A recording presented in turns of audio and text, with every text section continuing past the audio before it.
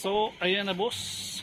Ito na, na-try na natin ang ating grow lights, LED lights. So, ayan o. Oh. Ayan yung bagong dating, yung parang ano, line. So, ayan. So, makakatulong yan sa ating uh, mga tanim dito na litos. Ayan o. Oh. And, ayan sa likod ko. Ayan.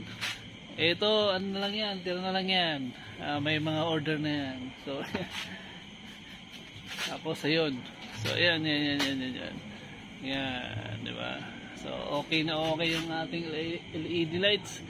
Ang tawag dyan, grow lights. Ayan. Ganyan talaga ang kulay niyan. Kasi yan ang, yan talaga ang purpose niyan. So, actually kulang pa yan. So, nag-try lang ako para makita natin kung gaano kaganda yung ganito or yung isang ganito alin ba mas maganda. Yung ganon yan. Pero ang tingin ko mas maganda itong ano yung yan oh ang liwanag oh. Oh di ba? Compare doon sa kabila. Dito sa kabila. Yan. Grow lights din.